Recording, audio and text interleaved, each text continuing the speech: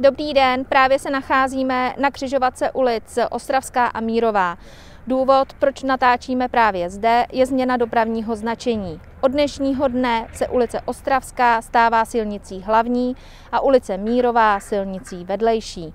Dbejte prosím zvýšené opatrnosti a sledujte dopravní značení.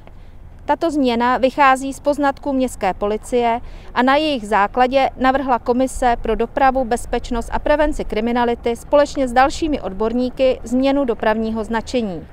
Součástí opatření je rovněž optické zúžení komunikace, které pomáhá zpomalení dopravy a vytvoření podélných parkovacích stání.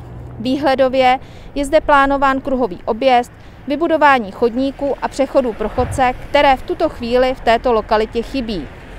Ještě jednou připomínám, od dnešního dne silnice eh, v ulici Ostravská, tedy od přejezdu směrem k letišti, se stává silnicí hlavní. Řidiči, vyzýváme vás, dbejte zde zvýšené opatrnosti a sledujte dopravní značení. Děkujeme.